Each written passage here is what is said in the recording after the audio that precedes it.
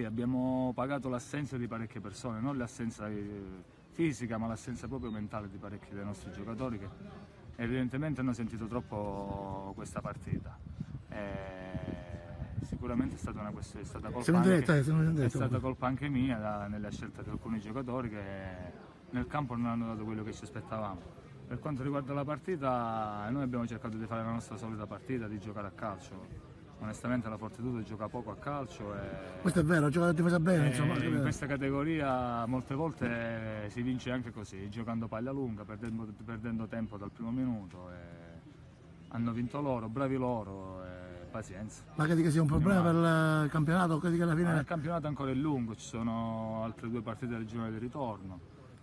E penso che dipenda da noi ancora l'esito del campionato. Sono- loro adesso sono due punti avanti, hanno una partita in meno, se vincono vanno a 5, però non è detto che vincono. Primo Siamo- posto, primo posto, già primo- Sì, loro sono già al primo posto, siamo in corsa. E Io sono ancora convinto che noi siamo la squadra più forte. Devo essere molto sincero.